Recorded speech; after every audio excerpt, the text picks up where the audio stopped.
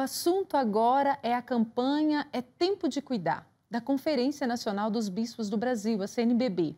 Os detalhes a gente vai conhecer agora com o repórter Tarek Cardoso. Você deve sentir aí a saudade do calor humano, de abraçar, de estar perto de outras pessoas e levar para elas alegria, amor e esperança. Saudades de ver os sorrisos que agora ficam um pouco escondidos debaixo da máscara, de proporcionar uma melhor acolhida aos que necessitam. Diante dessa realidade, a Conferência Nacional dos Bispos do Brasil e a Caritas Brasileira estão desenvolvendo a ação solidária emergencial da Igreja no Brasil com o slogan É Tempo de Cuidar.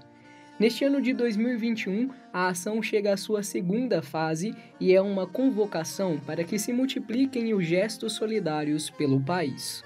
Desde março de 2020, muitas coisas mudaram em nossas vidas. Porém, no meio deste tempo tão adverso, redescobrimos na solidariedade um dos modos mais eficazes de irmos ao encontro e de nos fazermos próximos.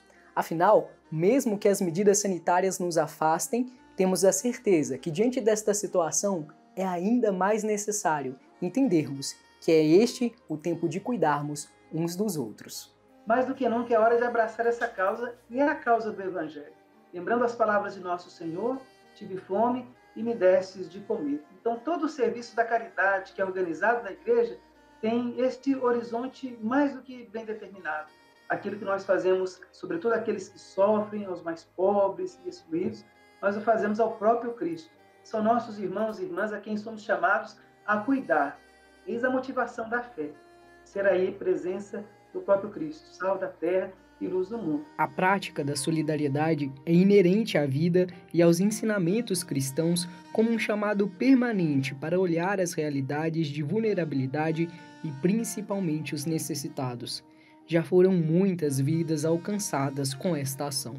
E desde o dia 12 de abril de 2020, a igreja no Brasil tem feito esse esforço de possibilitar ainda mais que as dioceses possam se organizar para poder atender de forma mais concreta e específica essas necessidades. Aí vem a ação solidária emergencial, é tempo de cuidar, que ela tem um objetivo muito claro, é fomentar essa solidariedade local e também organizar o serviço da caridade nas dioceses, paróquias e comunidades, onde esse serviço ainda não é organizado de uma forma é, atender momentos emergenciais como esse que nós estamos vivendo. São vários os trabalhos já existentes na igreja com a missão de exercer atividades de assistência social.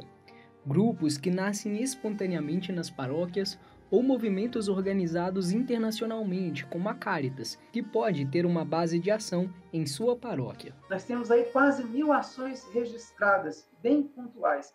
Além desses itens que eu descrevia, há também doações e recursos financeiros também que foram é, empenhados na ação solidária, que ultrapassa já os 4 milhões de, de reais. Então, é o serviço da igreja, sobretudo para as pessoas que estão em situação de vulnerabilidade social e insegurança alimentar. Todos estes trabalhos em prol do povo trouxe também avanços para os serviços pastorais oferecidos pela Igreja, que conseguiu aprimorar suas estruturas organizacionais e passou a atender melhor os muitos irmãos que tanto têm sofrido. Nós pensamos também em atender essas necessidades. Isso vai acontecer também por meio do Fundo Nacional de Solidariedade, que nos seus eixos agora também tem olhado para essa situação que nós estamos vivendo. O socorro, então, material, mas também aquilo que o Papa Francisco bem nos alerta, nós temos cuidado também das periferias existenciais.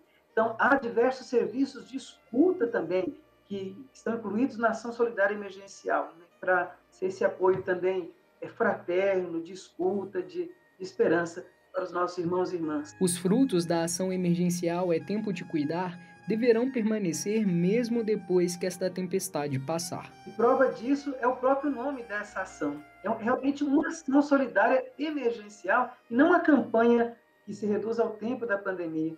Agora, ela há de continuar a partir, então, da, da comunidade paroquial que se organiza para ficar atento também à, à situação de vulnerabilidade social. É tempo de gratidão são muitas as vidas ajudadas por esta mobilização da Conferência Nacional dos Bispos do Brasil e pela Caritas Brasileira. Padre Patrick pediu gentilmente para que deixássemos aqui a mensagem de agradecimento a você que já está colaborando com esta ação. Talvez você que nos acompanha agora já participe ativamente da ação solidária emergencial. Então, nosso muito obrigado pelo seu empenho, a sua dedicação, o seu envolvimento. E que o nosso ardor missionário nos ajude a despertar tantos outros para entrar também nesse caminho da ação solidária emergencial. É tempo de cuidar. Cuidar é um sinal de quem ama, e quando nós colocamos o amor em ação, nós possibilitamos vida ao Evangelho.